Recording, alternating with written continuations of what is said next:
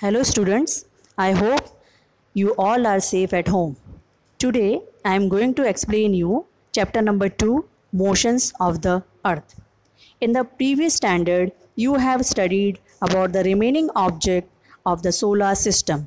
So now we will study about our own planet the earth. In this lesson we will study about the different motions of the earth that is rotation and revolution.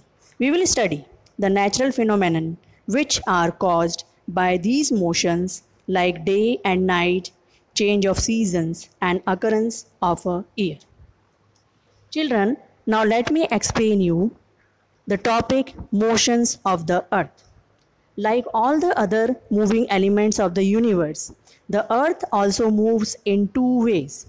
One, it rotates on its own axis and second, it also revolves around the sun. Thus, the motion of the earth takes place into two ways.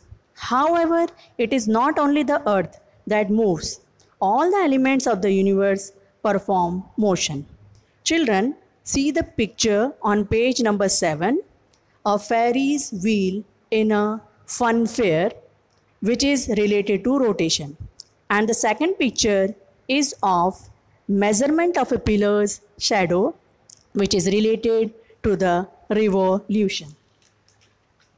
Children, now let me explain you what does rotation of earth means. The movement of the earth on its own imaginary axis is called the rotation of the earth.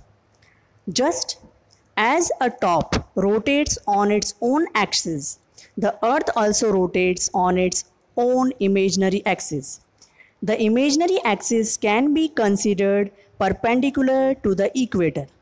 The earth rotates with a speed of 1670 km per hour. With this speed, it takes 24 hours to complete one rotation. Hence, our one day is of 24 hours. Day and night are possible only due to the rotation of the earth.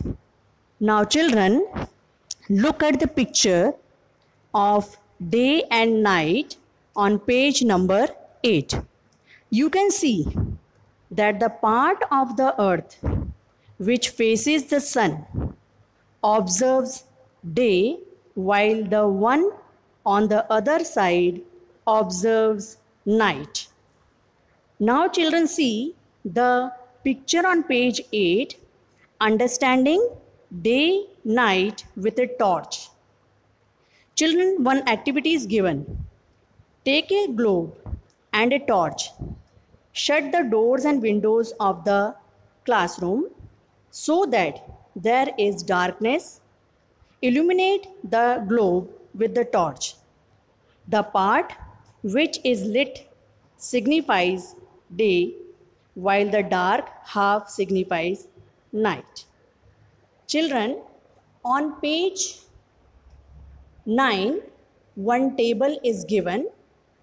If it is daytime in India, write whether it would be day or night in the following countries given in the table below. Now the name of the country is Canada. It will have night over there. Japan, day. Mexico will have night. Australia, day. Brazil will have night. And South Africa will have day. Children, now in my next video, I will explain you the further topic. Thank you.